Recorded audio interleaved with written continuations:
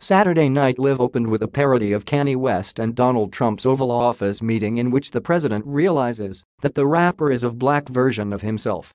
Alec Baldwin delivered another spot on Trump impression opposite Chris Redd as an unhinged West who made back-to-back nonsensical statements about conspiracy theories and his beloved MAGA hat.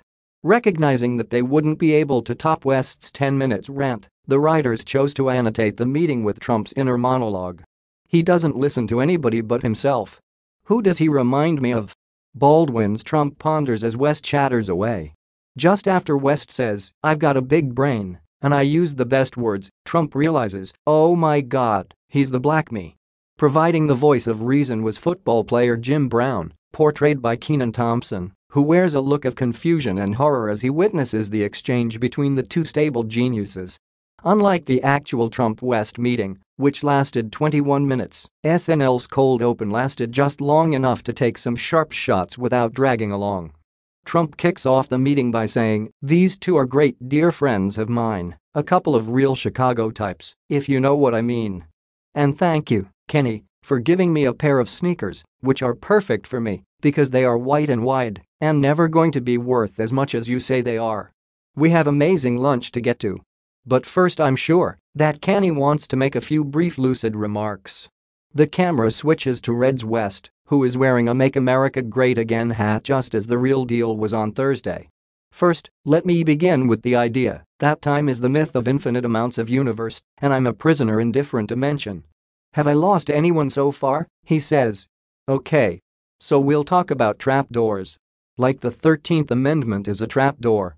And if you are installing a floor, aka the Constitution, why would you build a trapdoor? When you can end up with the Unabomber. Midway into the rant Trump draws the parallels between the rapper and himself and appears to be rather alarmed by the similarities. Meanwhile, Brown thinks to himself, oh, my lord, what have I gotten myself into? I played football with a leather helmet. And my brain is still working better than his. The camera cuts back to West, who says, when I put this hat on, this hat is like Superman's hat. Both Brown and Trump respond offer their inner thoughts on the comment, the former thinking, Superman didn't have a hat, you idiot, and the latter, can someone be tripolar? West continues, and another thing to think about is the fact that Hillary Clinton is actually not a man. Trump thinks to himself, wow, that was a curveball. This could be good for me. This guy makes Brett Kavanaugh look calm and collected. Wait, no, it can't be that good, the reporter from CNN is way too happy, he says as the camera cuts to a pleased correspondent played by Pete Davidson. West then offers to show Trump a photo of an airplane on his phone, which ends up being invisible. That's fantastic, Trump says out loud, while his inner voice says, maybe we should order your lunch from a pharmacy. The phone bit tees up a joke about West's 000000 iPhone passcode which he was seen typing during the actual meeting as Trump remarks that it's quite similar to his own 80,085 aka boobs. Baldwin also made a subtle swipe at himself when he referenced a controversial interview in which he claimed that black people love him ever since he started doing the Trump impression. Let's remember the big lesson today that black people love me they love me way more than they love Alec Baldwin, Trump says to himself.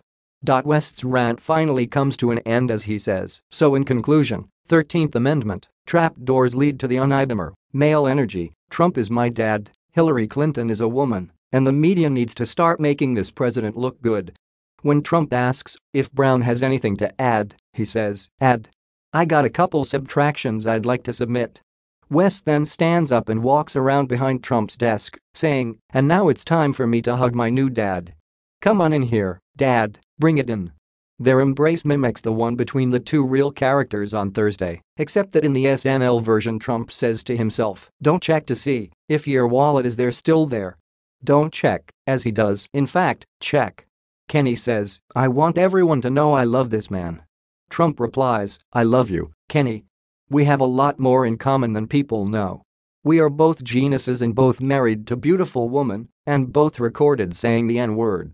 After Baldwin and Redd delivered the iconic line, live from New York at Saturday night, the camera split to host Seth Meyers on the main stage. The late-night host's highly anticipated return to his old stomping ground comes four years after he signed off of 13 years writing and performing on the show. This week's musical guest Paul Simon is also a familiar face on the SNL stage, having hosted the show four times and performed another eight.